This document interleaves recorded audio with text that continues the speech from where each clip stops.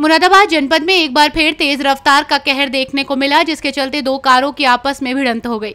बताया जा रहा है कि पागबड़ा थाना क्षेत्र के तीर्थंकर महावीर यूनिवर्सिटी के सामने तेज रफ्तार दो कारों की आपस में भिड़ंत हो गई। वहीं भिड़ंत इतनी तेज थी कि कारें आपस में टकराने के बाद लगभग 100 मीटर तक घिसटती चली गई। गनीमत रही कि इस ज़बरदस्त भिड़ंत में कोई जनहानि नहीं हुई।